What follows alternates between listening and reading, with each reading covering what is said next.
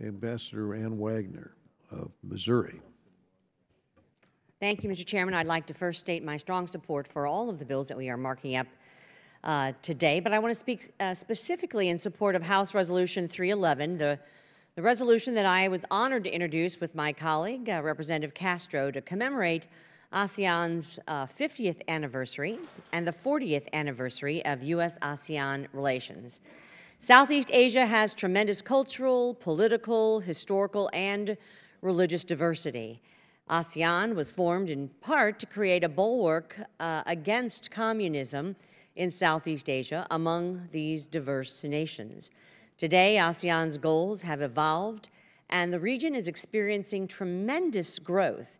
Nearly $100 billion of U.S. goods and services are exported to the ASEAN, rivaling our $113 billion market in China.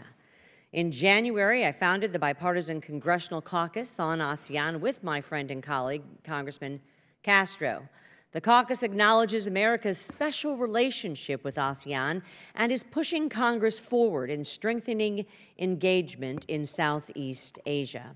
House Resolution 311 was one of our first initiatives, and the resolution encourages the enhancement of economic and defense cooperation with ASEAN.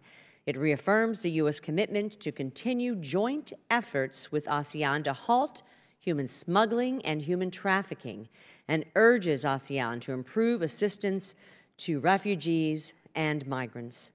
I'm grateful that the chair and ranking member are strong supporters of this effort, and I look forward to next seeing this resolution on the House floor. I thank you, Mr. Chairman, and I yield back.